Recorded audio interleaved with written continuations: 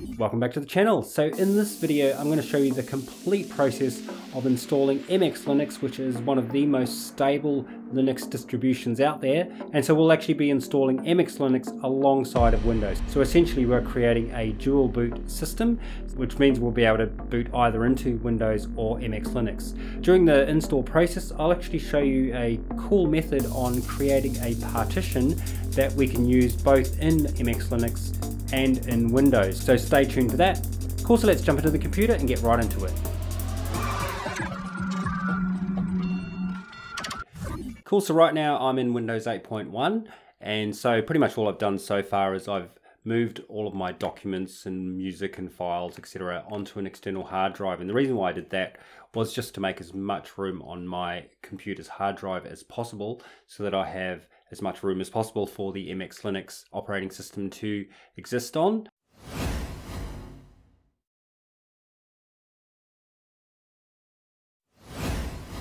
So I'll just do one more round of cleanup before I do the install. So I'm going to use a tool called Glary Utilities. And if you've never used Glary Utilities before, it's absolutely brilliant. It's got so many functions that can actually be found in Windows, or a lot of them can be, but it also has a lot of extra functionality. So I'm just going to click on one click maintenance and I'll scan for issues and this shouldn't take too long to do because I've done it pretty recently anyway. So Glary Utilities is a free tool that you can use in Windows. So I'll actually speed this video up so you don't have to watch the entire process of the clean and then rejoin you once the clean has finished.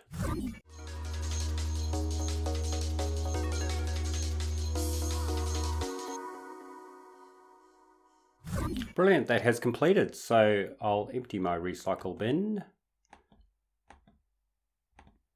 And now if we check out the makeup of my hard drive, just using the disk defrag utility, and as you can see there's plenty of space here after these files available on my internal hard drive. So I'll close out of disk defrag now and also Glary utilities.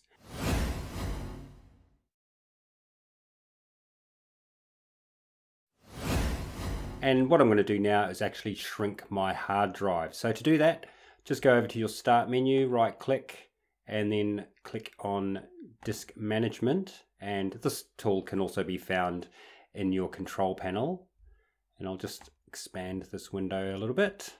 Cool, so what we're looking at here is my internal hard drive and this is a 22 gigabyte SSD drive that I actually use for projects so because it's a SSD drive it's a fast access drive so generally I'll use that for my projects and then when I'm finished a project I'll back all the files up to another hard drive and then clear this SSD drive. These partitions here are actually my Windows partitions. So I'm going to leave the first two alone and this third partition, which is where the operating system and all my files exist, I'll actually shrink this partition here. So to do that, just right click and then select shrink volume and Windows will actually suggest a good size that I can shrink this partition by. And here we go. So I'll actually have 342,000 or 343,000 megabytes of hard drive space left over, which is just under half, which is perfectly fine. So I'll click shrink And there we go. So now we have unallocated space, and this is the space that I'll be installing MX Linux onto. So I'll close out of disk management now because that is completed.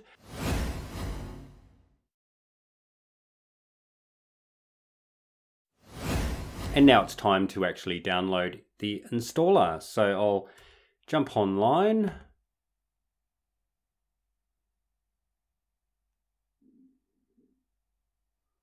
and do a search for MX Linux.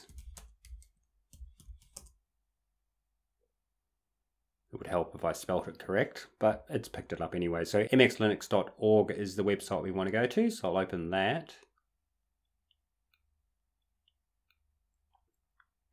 And I'm just going to go straight to the download page by clicking this button here.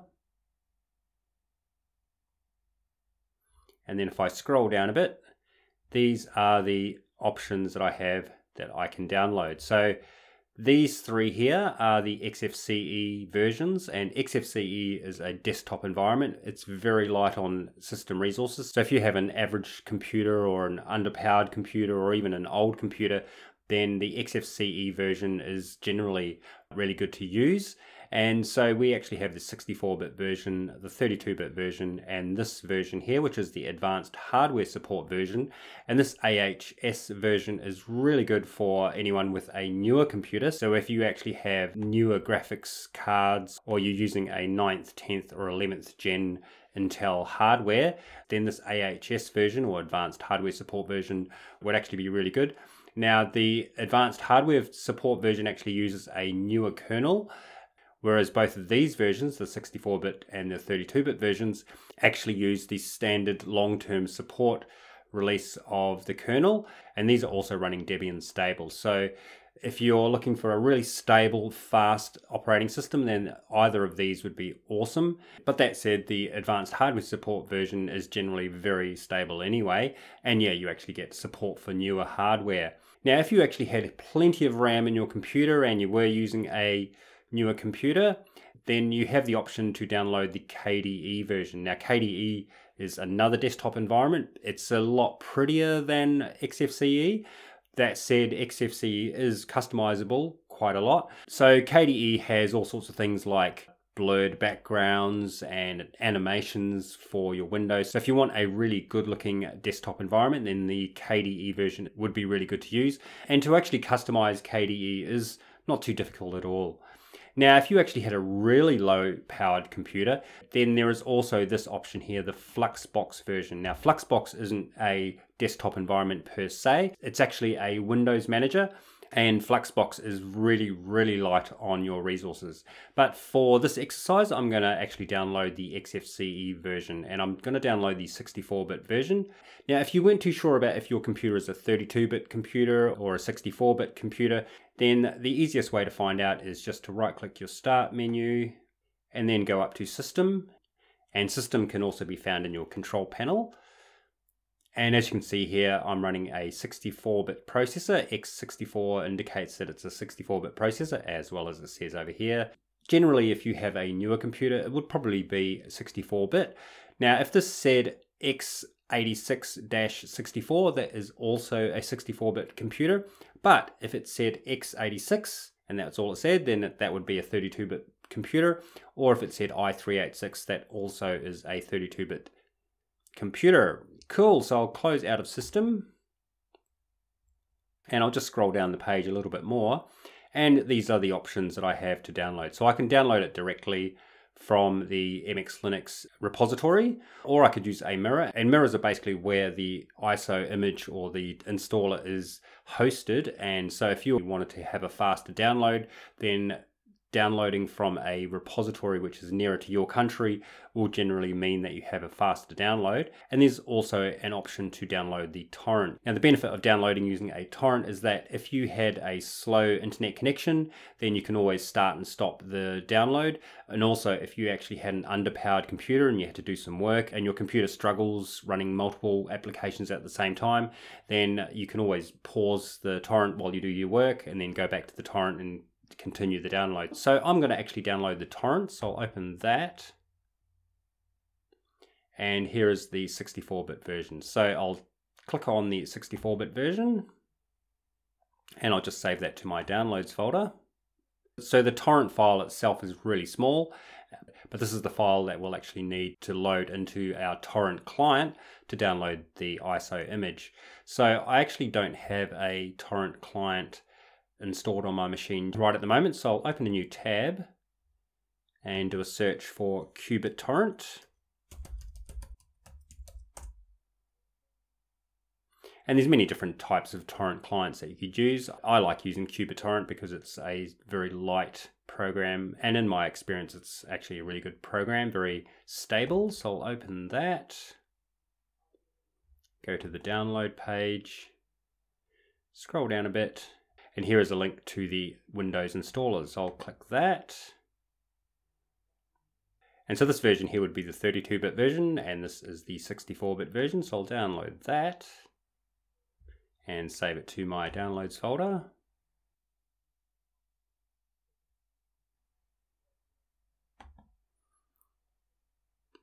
Fantastic, so now I'll open qBittorrent.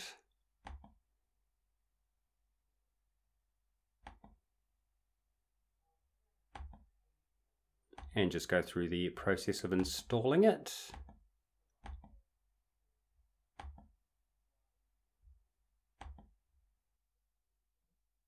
Which shouldn't take too long at all.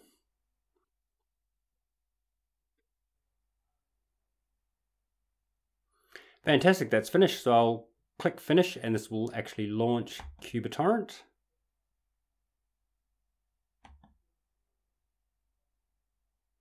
And then I'll go back to my torrent file and I'll just double click that and that will load that into QBittorrent. So this is going to download into my downloads folder. So I'll just click OK for that. And there we go, the download has started. So I'll just move this window to the right a little bit and then go back to my web browser and I'll close that tab now.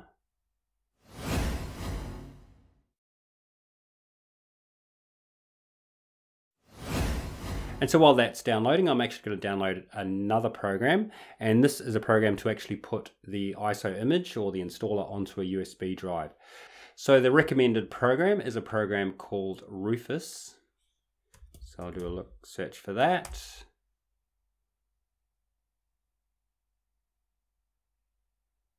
And here is the official website. So I'll just go straight to the downloads page. Rufus.ie. And I'll just download the top one, which is the latest version. And I'll save that to my downloads folder as well. And there's actually another program. This is a program that I prefer using, and I'll tell you why when I demonstrate it. And it's a program called Ventoy.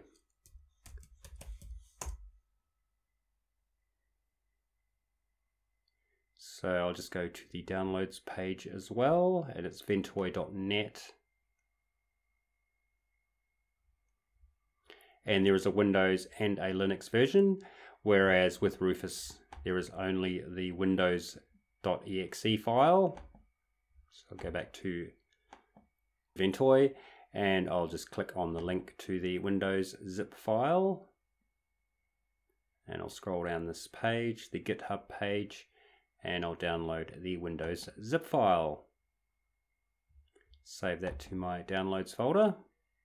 Now, if you are actually using a Mac to create a bootable USB drive, then a program that you could use is a program called Balena Etcher.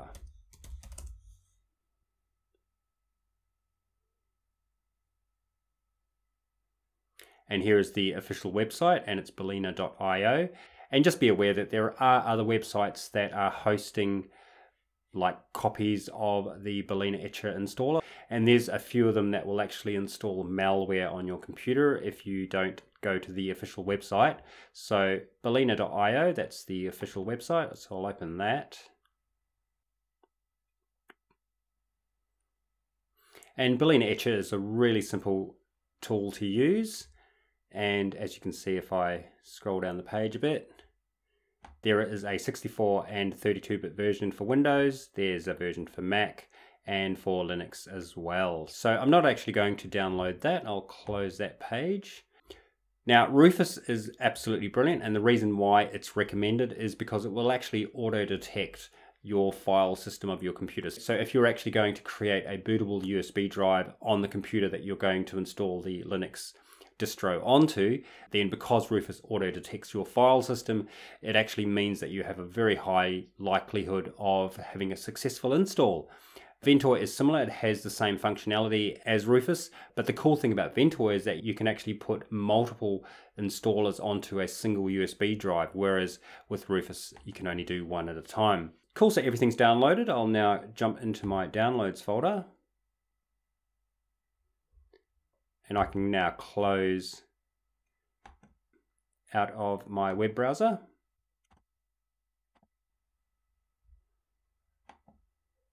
And here are our downloaded files. Now this .exe file is actually the program itself and it's the same with Ventoy. So I'll firstly extract Ventoy. And because this Ventoy program, as well as the Rufus program, are the programs themselves, so what I'm going to do is actually put both of these files into my program files directory. So I'll open up another file browser window, and then I'll navigate to my program files directory, which is in my C drive. And here it is here, program files. And then what I'll do is I'll just drag the extracted Ventoy folder directly into my program files directory.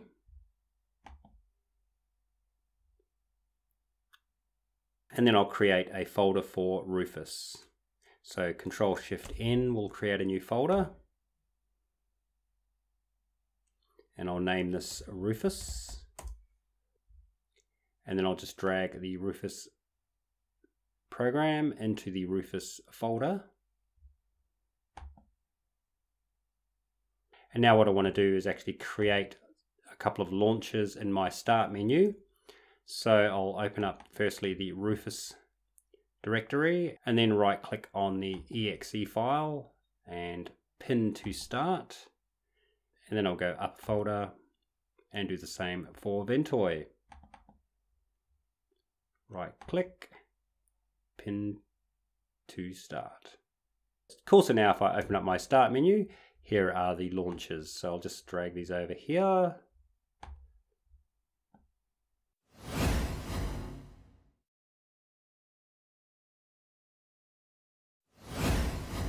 And then launch Rufus.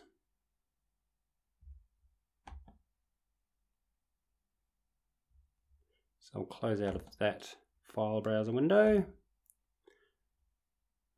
and I'll minimize the downloads folder. And there we go, the download has completed. So I can now delete that from QBittorrent. And then I'll quit QBittorrent. And now I'll grab my USB drive and put it into my computer. And Rufus has picked up the USB drive. So now I'll go over to select. And here is the ISO image or the .iso file that we want to load onto the USB drive. So I'll select that, click open, and that's now loaded into Rufus. Now the partition scheme and the target system have been auto detected by Rufus, so I'll leave those as is. And so I'll just name the USB stick. So actually I'll go back to select and I'll just double click slowly. Control C to copy, cancel out of there, and then for the volume label, I'll paste the name, Control V to paste. And I'll leave all of the other options as is, and then just simply click Start, and then OK to write in ISO image mode. And then OK to the warning that all of the data on the device is about to be deleted, and also all of the partitions. So this is going to create a bootable USB drive from scratch and I'll just let that complete. So I'll speed up this little bit of the video and then rejoin you once Rufus has completed its task.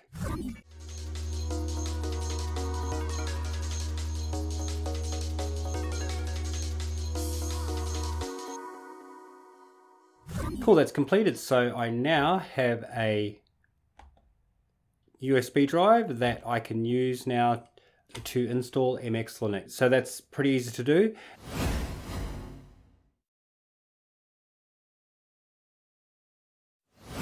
Now what I'm going to do is actually show you my preferred method, which is to use a program called Ventoy. Now, the reason why I like to use Ventoy is, for example, I have this 32 gigabyte USB drive here. And so if this was the only drive that I had available, then I would actually have to install each ISO using Rufus one at a time if I wanted to what's called distro hop or try different Linux operating systems out.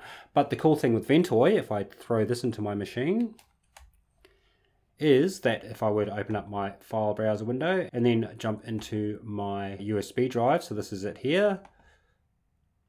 Now, as you can see, I have 10 different installers on this one USB drive. And as well as that, I actually have a whole bunch of folders that I have on the drive as well. And that's the cool thing about using Ventoy is that not only is it good for putting Linux ISO image installers onto a flash drive, but you can also use it to move around files and folders, etc. Hence why I use Ventoy. So I'll demonstrate how to use Ventoy. I'll just eject my flash drive.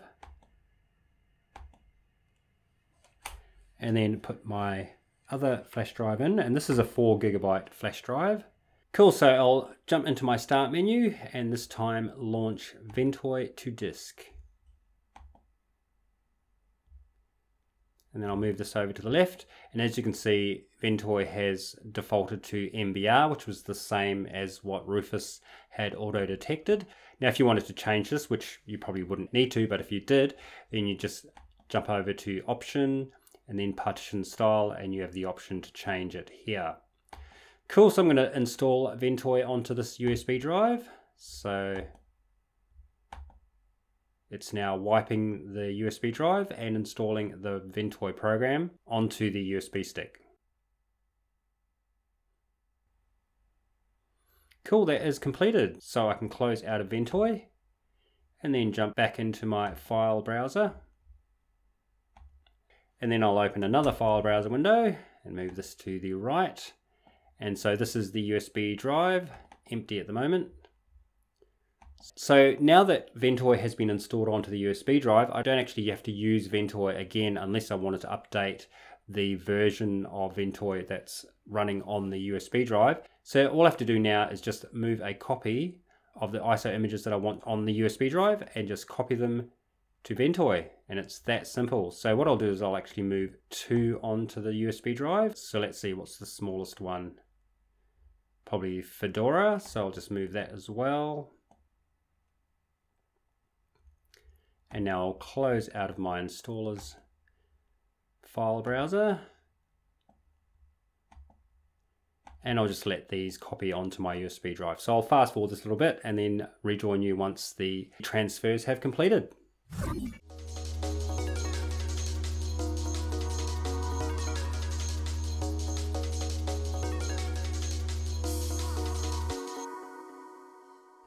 Cool, that's completed, so I'll close my file browser window.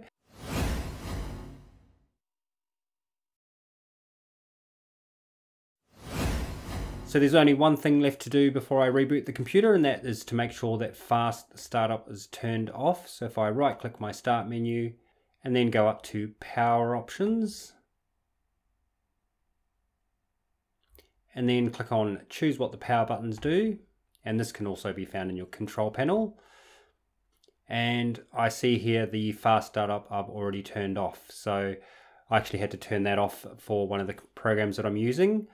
But if yours was turned on, then just go up here to change settings that are currently unavailable. And then you can turn it on and off here. So I'll leave this turned off and just cancel out of there.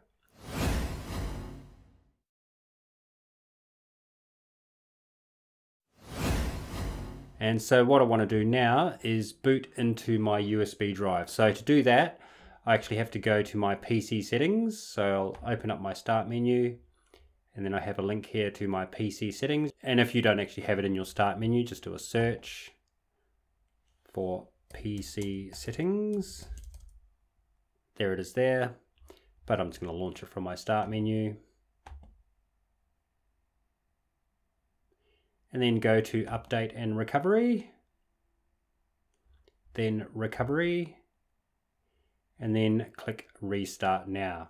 Now, if you were using an older operating system, one that was before Windows 8 or Windows 7, then you'd probably have to jump online to find out how to boot into your BIOS. Generally, what you do is you shut your computer down and then power it on, and then immediately either press your F2 button or your F8 button, or sometimes it's F5.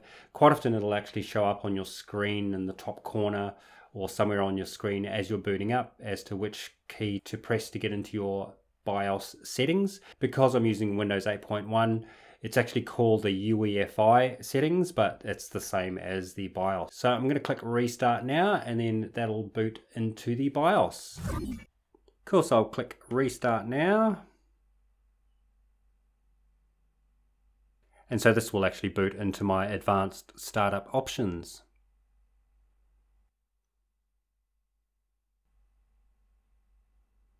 And here we go. So I'll firstly click on troubleshoot and then advanced options and then UEFI firmware settings. So this is the same as booting into your BIOS on an older computer. Cool, so here I am in my UEFI settings, and there's a couple of things that I need to do first before booting into the USB drive. So I'll firstly go over to security and then make sure that my secure boot control has been turned off. Now, if I didn't do that, then I wouldn't actually be able to use the USB drive. I'd get a warning that I wouldn't be able to use the USB drive. Cool, then I'll go over to boot and I'll make sure that fast boot has been disabled and then go to my boot order priorities. And if I leave this as is, then basically the computer will boot normally into Windows, but I actually want to change that. So I'll select that and then choose my USB drive. And that's pretty much it. So I'll now go over to save and exit and then reboot the computer by clicking save and exit.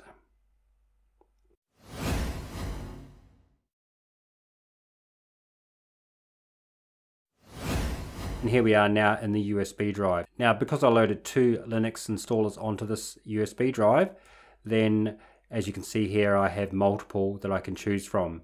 So that was just to show you the power of Ventoy. So I'll select the MX21 installer and then click enter. And here we are in the first screen. So we have the option to change the language, our keyboard layout, and the time zone. So I'll actually do that here. And if you didn't change it here, then you still have the option to change it once you're in the installer. So firstly, I'll change my language and English, English, and then I'll use UK English. And then for the keyboard, because the keyboard layout on this laptop that I'm using is using the default US layout, then I'll select that. And then for the time zone, and then back to the main menu and now that I've changed those settings, I'll now boot into the MX21 installer. So MX21 is dubbed Wildflower.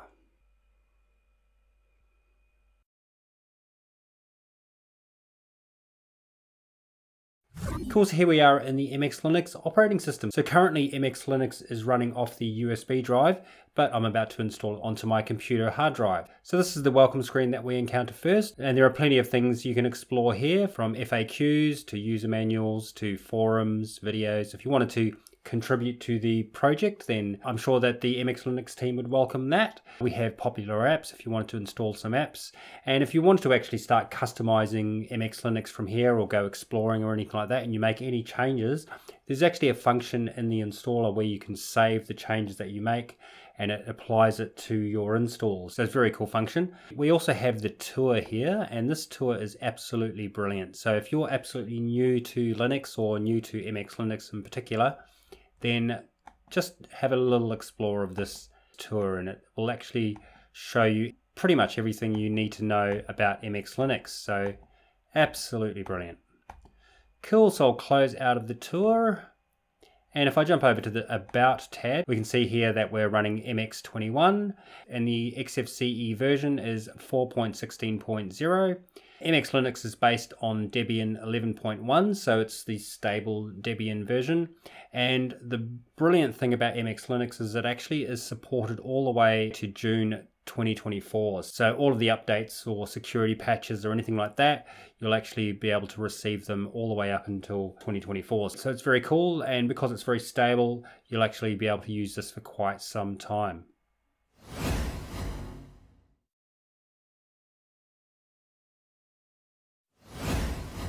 Cool, so I'll close out of the welcome screen and then go over to the installer which is on the desktop and click that once. And this is the MX Linux installer. Now, this installer is native to MX Linux and it's absolutely brilliant. There's quite a few things you can do here which you actually can't do in many of the other installers that you find for other operating systems. Now, quick tour of this. We have help and instructions to the left.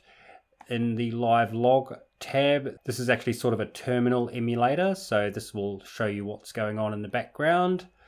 I'll go back to help and let's get started with the installs. So I've already changed my keyboard settings to the default US keyboard layout, but if you hadn't have done that, then simply click on change keyboard settings. And if your keyboard model is in this drop down menu, then you can just select it from there. Or you can just select the keyboard layout language in this field here. So just click on the plus button and then from this drop down menu you can choose your computer's keyboard language. So I'm going to leave mine on the default US keyboard layout and then click OK. Actually, it's added that to the keyboard layout, so I'll delete that and then apply and OK. And we're back in the MX Linux installer. So I'll just move this to the left a little bit. And I'll drag this bigger. Now, to actually find the corner is quite difficult. Oh, I actually got it right there because to actually get the corner, you're actually looking for something that's one pixel by one pixel. So it's very small. That said, it's actually really easy to solve. You just go up to your title bar and right click and then select resize and that automatically throws your cursor to the corner. And when we actually customize MX Linux, there's actually a theme that we can use which widens the borders so it makes dragging windows larger and smaller really, really easy. So I'll just drag that a little bit bigger and then click next. And because I'm going to dual boot this computer with Windows and install it alongside it, I'm going to leave it on customize the disk layout and then click next. And so before we can actually use the screen, because the space on the hard drive that I've made available is currently unallocated, I'm going to go over to this button here, which will launch the gparted application. So gparted is a Linux partitioning tool that you can use. So I'll drag this bigger as well. And so here is the unallocated space that I'm going to use. So I'm going to do some partitioning now, and I'm doing this specifically for use with Windows. So the first partition I'm going to create will actually be a partition that I can use both in Windows and in MX Linux. So I'm going to make this about 100 gigabytes in size. That'll be plenty big enough. So in this field here where it says size in megabytes, because 1024 megabytes makes up one gigabyte, I'll type in 102400 and then press tab and that's 100 gigabytes. So for the file system, because I want Windows to be able to see this partition as well, from this drop down menu, I'll just click and hold and then select NTFS because that is the file system that Windows can read. And then for the label, I'll call this dual data and then click add. Cool, so now I'll go back to the unallocated space, right click that again, select new, so I'm going to create two more partitions, one for the operating system and all my files, and the second partition will be for my swap partition. Now, what a swap partition is, is kind of a, an extension of your RAM. So if you don't have much RAM in your computer and you plan on doing some quite RAM intensive work on your computer, then by not having a swap file, when you run out of RAM, you can actually freeze your program and lose your work, or sometimes even freeze your computer and have to reboot. But by having a swap file, when your RAM is actually filled up, then it'll actually throw the data that can't fit onto your RAM into your swap file. So it's kind of an extension of RAM. Now, you can't really rely on swap as RAM. You're better off actually upgrading your RAM because to actually use a swap partition is a lot slower than if you were actually using RAM. So I'm actually going to go down to my apps menu and then look for a calculator. There it is, calculator it's called, so I'll open that. And so the general rule of thumb is to create a swap partition about the same size as your RAM. So I have six gigabytes of RAM in my computer. So what I'll do is I'll go six times 1024 And so 6,144 megabytes is equal to 6 gigabytes of RAM. Cool, so I'll just drag that to the right a bit.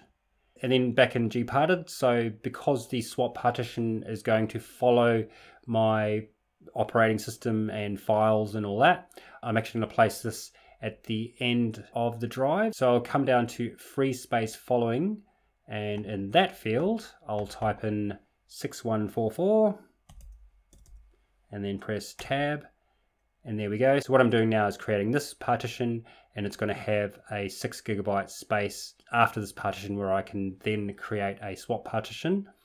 Now for the file system, I'm going to change this to BTRFS, otherwise known as ButterFS. Now, the reason why I'm doing that is so that when I do system snapshots, which is kind of the Linux version of a system restore point, then by using ButterFS, it's almost instantaneous when you make a snapshot. Whereas if I were to use ext4, which is the normal file system that Linux uses, and it's a very stable, fast file system. But every time I would actually create a snapshot, then it would take a lot longer than using ButterFS. And ButterFS is actually very powerful and very stable as well anyway.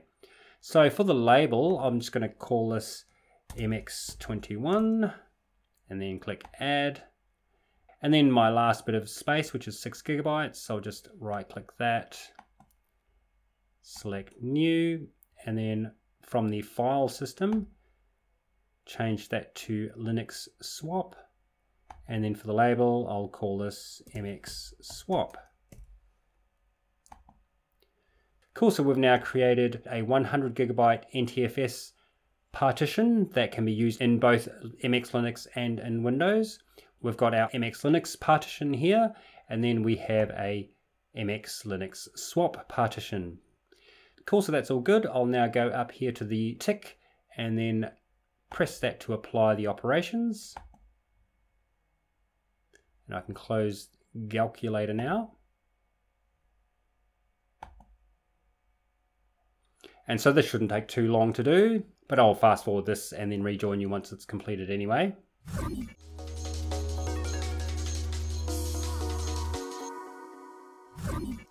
Fantastic, that's completed. So I can close out of that and I'll just close gparted. We don't have to get that to read now. And so now the MX Linux installer will do a quick scan to see the changes. And there we go. So here are our new partitions that we've created. So for this first partition, I don't actually have to do anything to that. It's already formatted to NTFS, so I'll leave that blank. I'll go down to the MX swap partition, and then from this drop-down menu, select swap.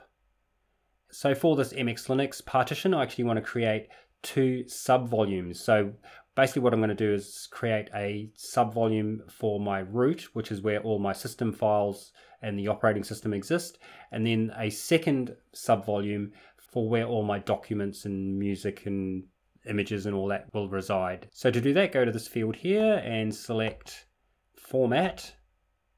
And then in the format field, change that to ButterFS. Cool, and then go over here to SDA6 or whatever it's called on your computer. And then right click that and let's create a couple of subvolumes. So right click and create another subvolume. Cool, so now we have two subvolumes here that we need to allocate usage for. So from this drop down menu, I'll choose root for the first subvolume. And then from the second one, I'll choose home for the second subvolume. Now, the reason why I did it this way and didn't actually create separate partitions, which you can do, is because I'm using Timeshift, Time shift will actually pick up that because this is labeled ampersand or and symbol, then this is my root volume. And because this is labeled at home, then Timeshift, which is taking my snapshots, will recognize that this is where all my files are. So that's all good. Now, I'll just take note that up here on my Windows partitions, I actually have an ESP partition, which is the bootloader for Windows. And so what I'm going to do is actually include an MX Linux bootloader or grub menu on the same partition. Now currently the Windows grub menu takes up about, I think about 40 megabytes of space, so there's definitely plenty of room here for me to use the same partition for the MX Linux grub menu or bootloader. And I'll also take note that it's SDA2, which is where the Windows bootloader resides. So I'll click next. And if I wanted to double check or triple check, then I can just make sure that these are the changes that I'm going to use. So I'm not going to reformat the Windows bootloader, but I will be formatting SDA6, which is where we created our partitions for MX Linux. SDA7 is where the swap partition is, that's there. And then SDC2, which is the Ventoy USB drive, that will actually be left as is, so it's no reformat there. So that's all good, so I'll click yes to continue and SDA2 it's defaulted to, so I'll leave that as is because that's where the MX Linux grub menu will reside. And so when I boot up my computer, I'll actually have the option from the grub menu to either boot into Windows or into MX Linux. So I'll leave that as is click next, and then choose my computer name. So this is what my computer will be named on a network. So if I left it as MX, which is the default, and I actually installed MX Linux onto multiple computers and they were all called MX, then it might be a bit difficult to figure out which one was which. So I'll call this MX21 hyphen K65CM because that's the brand of laptop. I won't worry about changing the computer domain because I can always do that later. And the workgroup I'll leave as is. This Samba server, this is if you were planning on doing Microsoft networking. So for example, if you were going to create a gaming pod with some friends and you wanted to use Microsoft networking on your Linux machine, then you'd leave this enabled, but I don't actually plan on doing that. So I'll disable that and then click next and then edit my locales. So let's choose Australia. And then for the time zone, Australia. And I'm going to leave it on 12 hour time. For the service settings, if I click that, it's generally a good idea to leave all of these enabled. But if you knew specifically that you didn't want one of these or multiple of these installed, then you could just deselect them. I know that this laptop doesn't have Bluetooth, so I'll deselect that and click OK. And then next, and then my login username and password. Now, if you were actually setting up a computer to share, like in the lounge or anything like that, and you wanted to set it up and give out the password for everyone to be able to log in, then you just share this password here. But if you didn't want other people to actually make changes to the system, then you could actually create an administrator password, and that way you'd actually need to know this password to say install or delete programs or make changes to your system settings. But I'm going to deselect that because I'll be the only one using this laptop. Now I'll leave auto login turned off. And then this field here, save live desktop changes, is absolutely brilliant. So I'll select that because I've actually downloaded and installed a program called Simple Screen Recorder to actually record this session. So by ticking this box here, my Simple Screen Recorder install will actually be included as part of the operating system. So when I reboot, I won't have to reinstall Simple Screen Recorder. Cool, so I'll click next and we're in the home stretch of the installs. If I just turn on the live log, now I'll speed up this a little bit and then rejoin you once the install has completed. Don't forget to like and subscribe. It really helps the channel and I'd appreciate it immensely. So thanks again and let's get back into the video. And there we go, the install has completed. So I can just click this finish button and that will actually reboot the computer into the grub menu and from there I'll be able to choose whether I start into MX Linux or Windows. So I'll turn off my simple screen recorder recording and then show you the reboot process.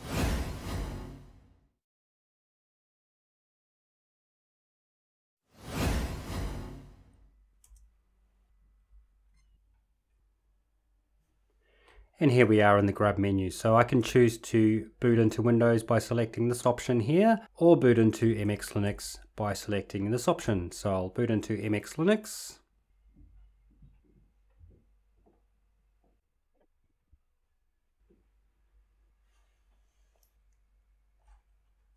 And I'll enter my login password.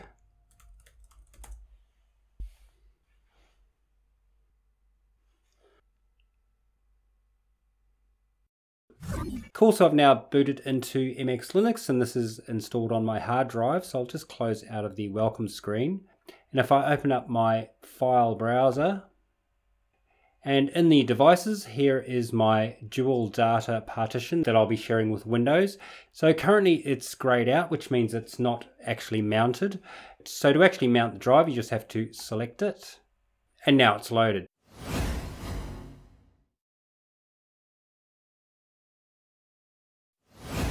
So what I'm going to do is actually show you how you can auto mount this drive here so you don't actually have to click it every time you log in or boot up your machine. So what I'll do is I'll unmount the drive and then close my file browser. and then go to my apps menu or start menu. And so now I want to actually install a program. So in the search field, I'll type in install and I want to open this program here called Synaptic Package Manager.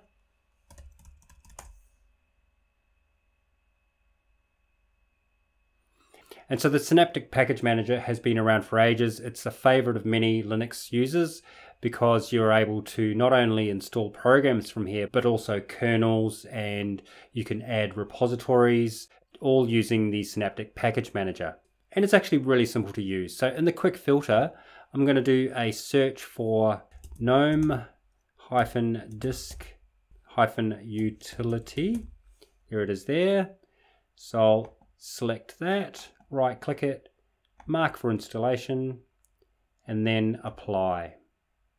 Then I'll press apply again, and this will now download the package files. And now it'll actually install the program. So I'll select this automatically close after the changes have been successfully applied and that will close this dialog. There we go, so it's now installed. And as you can see here from this installed version, we now have the version number here. So a very easy way to check if something is installed on your computer or not is by looking in this column here. If it's blank, it means it's not installed. If I actually click this installed version twice, then it will actually load everything installed at the top of the list. So these are all the packages that are actually installed. So there's quite a few. So that's cool. So I'll close out of the Synaptic Package Manager and now go back to my apps menu. So I'll actually press my super key on my computer, which is the Windows key. And that opens the apps menu and then do a search for disks. There it is there. So this is the program that I just installed. So I'll open that and I'll move this to the left and then select my computer's hard drive. And as you can see here these are all my partitions. So currently anything that has a play button means that those drives are mounted. But this dual data partition that I created for use with Windows and MX Linux currently doesn't have anything in the corner. So what I'll do is I'll select it so let's edit the settings now. So I'll go to the settings cog here and then select edit mount options. Turn off the user session defaults. And then in the display name, I'll name it. So it's dual data. And that's good. So I'll click OK. Throw in my login password. And we've now made the changes to this partition. So Next time I reboot the computer, it will actually auto mount, which is really good. And if I wanted to actually mount it now, I can just go over to this play button, throw in the old password, and now that's mounted. So if I now reopen my file browser window, so Windows key E, which is the same shortcut as Windows, as you can see, dual data has now been mounted. So that's pretty much it. Now I'll show you the power of the shared partitions. So if I open up dual data and currently it's empty so I'll open up a new file browser window. And I'll just go into my project SSD drive and I'll just drag one folder over. And now if I reboot into Windows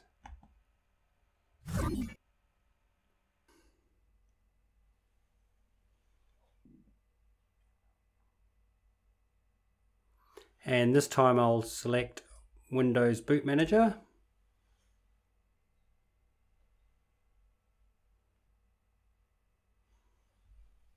and I'll log into Windows now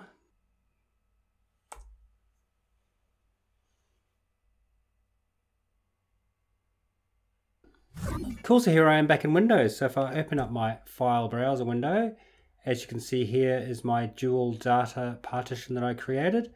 And here's the folder that I copied across when I was in MX Linux. So it's a very easy way of being able to work on files regardless of whether you're in MX Linux or in Windows.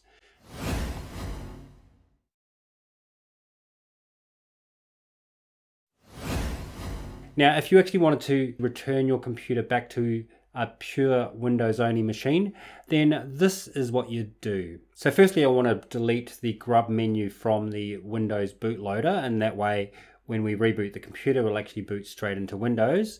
So to do that, go to your start menu and right click and then run the command prompt application or PowerShell if you're using Windows 10 or 11.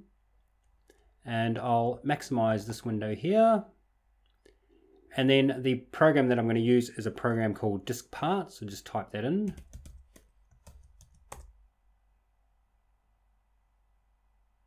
And so that's now running. So because I'm going to edit the EFI partition where the grub menu has been placed, I'll firstly have to find where it is. So to find that out, type in list volume. And because I know that the grub menu is 100 megabytes in size, it will be this FAT32 partition here. So I'll take note that it is volume 4. So to select volume 4, I would type in select vol space 4. Oops, I didn't leave a space, so I'll try that again. Select vol space 4. And now we can see that volume 4 is the selected volume. So if I now open up a file browser window and I'll just move this to the right. And so this will actually show us what we're about to do. So now I'll go back to the command prompt and I want to actually allocate a letter to this volume. So to do so, type in assign space letter equals with no space and then we just have to choose a volume letter that isn't being used. So currently I'm using C, D, and V. So I'll just type in Z. And Z will now appear. Here we go. It's now appeared in our devices and drives of our file browser. So now we want to actually enter this folder. And if I try to double click it, then I won't have much luck, so I'll close out of there. So the way to actually enter this folder is you go to your start menu and right click it and then select task manager. And the shortcut to open task manager is control alt delete on your keyboard. You just press those keys at the same time. Cool, so now go up to file and run new task and then go over to your browse button and let's browse to the Z drive. So there it is there. And so this folder here is what we want to edit. So I'll open that. And all you have to do is delete this MX21 folder, which contains the grub menu. So I'll just press delete. And that's done. So I'll leave everything else in the folder so we can actually boot back into Windows. Then simply click cancel and cancel. And we can close the task manager now. And so what I want to do now is actually remove this letter. So I'll go back to my command prompt and type in remove letter equals Z. And we are done. So now I can close out of the command prompt and also my file browser window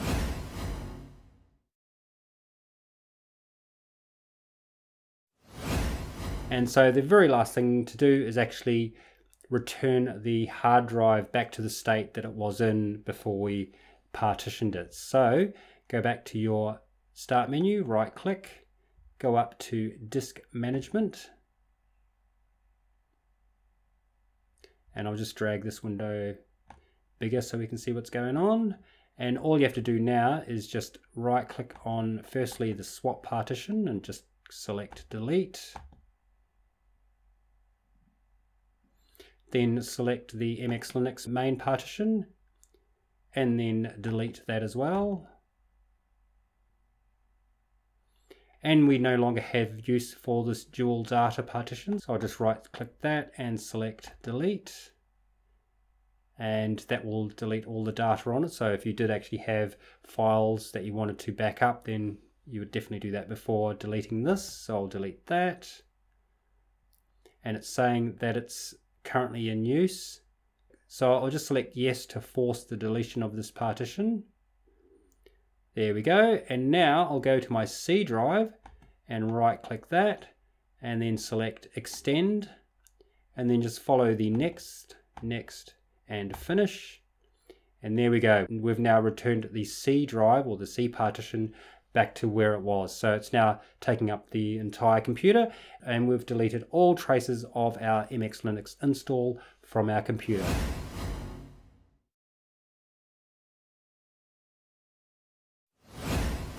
There we go. So the final things to do is of course right click your start menu and choose power options and then click on choose what the power buttons do and from here you could just change settings that are currently unavailable and then turn on fast startup. But because I'm using a program called VeraCrypt I actually need this turned off. So I'll just cancel out of there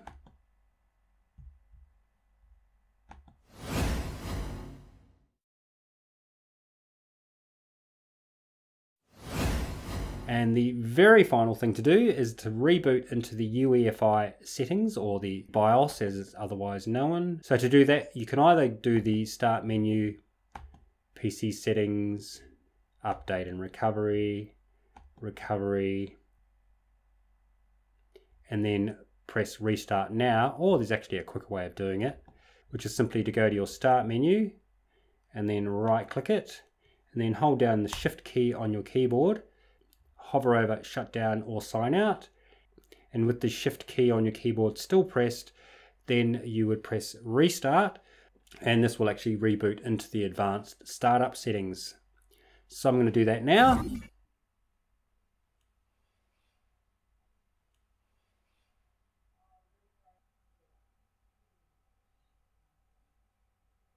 And here we are in our advanced startup menu. So I'll go to troubleshoot and then advanced options and then UEFI firmware settings then click restart.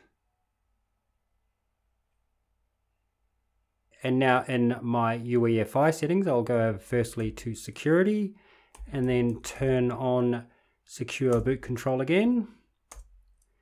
Then go over to boot and then enable fast boot. And so what I want to do now is actually delete this boot option one. So because I've actually deleted that grub menu from the EFI folder, then when my computer boots up, it actually looks for this grub menu first.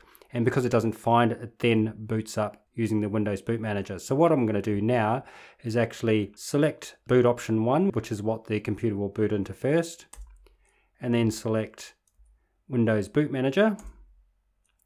And then what I'm going to do is actually delete this. So if I just go down to delete boot option and select that, and then press enter again, then I'll select this MX21 bootloader, and that has now been deleted. So if I press escape, you'll see that there is only one boot option that I have available to me here. So now I'll go over to save and exit. So this will essentially reboot my computer back into Windows absolutely normally. So I'll just click yes to save the configuration and exit.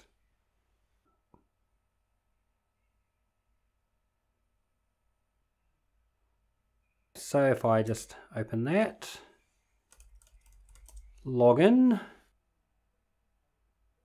and there we go, full circle. So we're back in Windows and now there is no trace of MX Linux.